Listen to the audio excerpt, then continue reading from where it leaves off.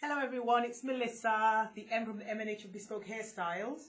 Yesterday I showed you my henna mix, the regime, and I've just washed my hair and I might be talking a bit fast because I'm expecting a client. So I thought I would show you this quickly because I won't have any other time to do this. And it's daytime as well. And normally when I finish, um, it's dark outside and you might not see the difference. I don't think you're going to see the difference, but I just wanted to show you this is how it looks when I've just washed it. It's still wet. Um, and um, so this is how it looks. Let me show you. Um, yeah, there it is. And it's quite dark outside. Normally when the sun hits it, that's when you really see the colour come through because it's supposed to kind of look natural, like, oh, you've got a bit of red in your hair. Like uh, just the sun just brings it out. So it's quite dark. So I've kind of used extra light for you to see um, what it looks like. And that's it. I'm a bit shiny because I've literally just got out of the shower and I just thought, let me quickly show you um, what it looks like. I'll come a bit closer. Um, you can see there, there's, there's my greys all now red.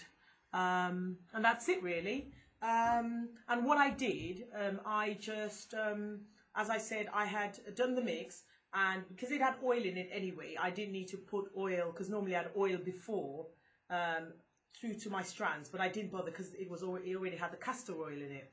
I thoroughly rinsed my hair and then I um, then I applied and I basically started from the root to the tip. And as I said, when I apply henna, it's also to give my hair gloss and also to cover my greys temporarily. So within two weeks, my greys will start showing. Um, it's just to give my hair a bit of gloss and it feels nicely conditioned.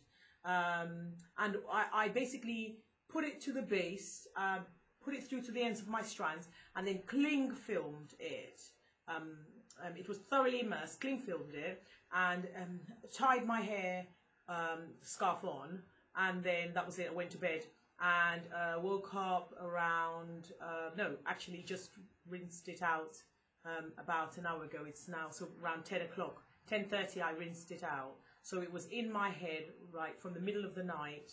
Um, I think I did the recording around half past midnight, some minutes to one, until the morning um, at ten thirty. Um, and um, when it was time to rinse, rinse with cool as cold water as possible because there's an egg in it. You don't want the egg to cook into your hair.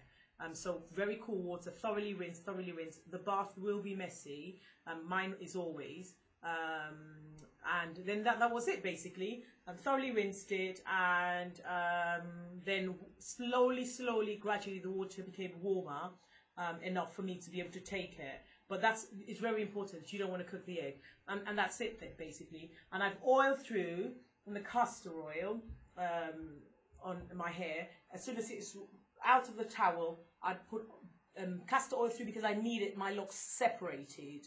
Um, and that is it. Let me show you again. That's it.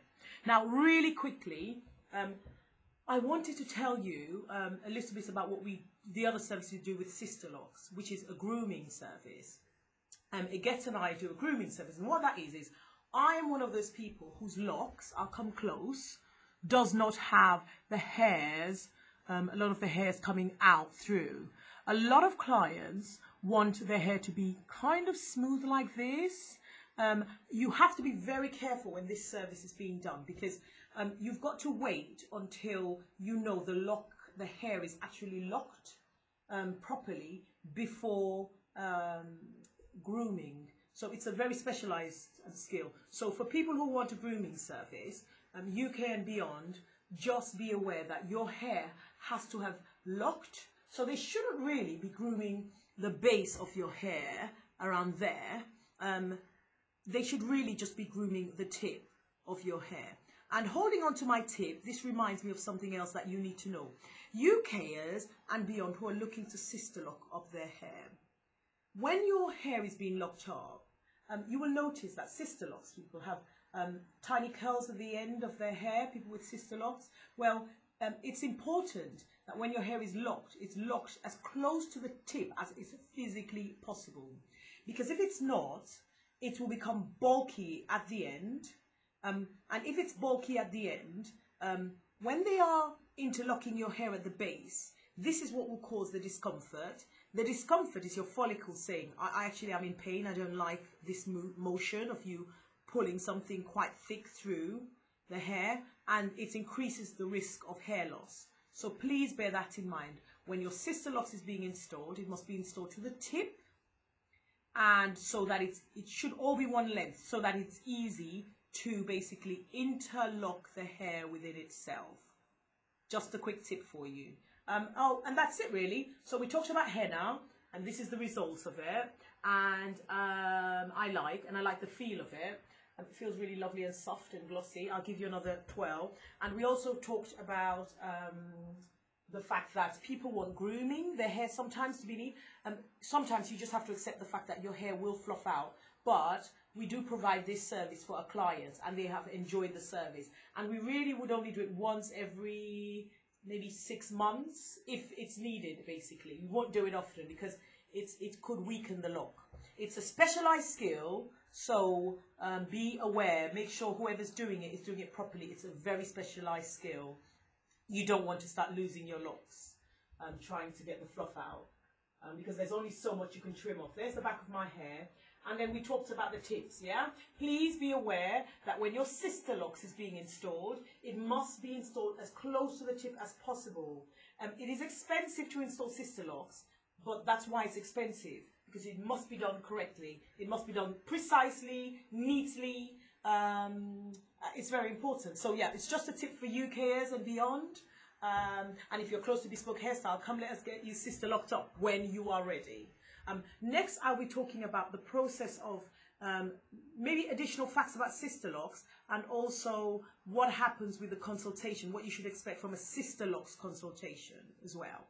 I'll, I'll, I'll give you that information as well.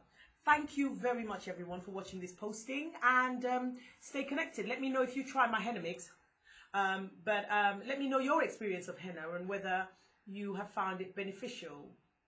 Um, the next time I'll be doing this henna mix will probably be in four to six weeks' time, or maybe more like six weeks. And it might the ingredients might change slightly. If the ingredients are going to change slightly, I might do another posting. If it's the same, then I, I won't bother. Thank you, everyone. Please, please stay connected. Take care. Thanks for watching this posting. Bye. Ah well mon nom s'appelle SK.